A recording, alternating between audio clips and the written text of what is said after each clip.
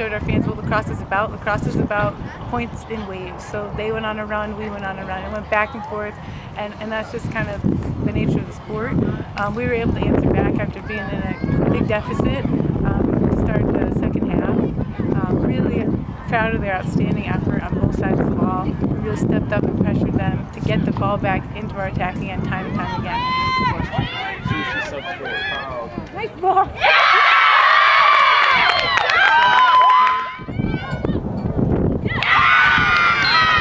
I couldn't be more proud of this team and effort. And there were mistakes. There were plenty of mistakes today, but there's someone always backing up the ball, and the ball off the ground. Um, really selfless play by our team.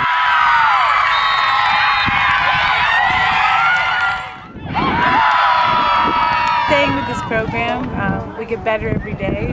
Um, that was probably the best lacrosse we played all year, maybe in the history of this program. Not going back. They raised the bar, and tomorrow's a new day better than that. So on Saturday, I expect us to be to be better.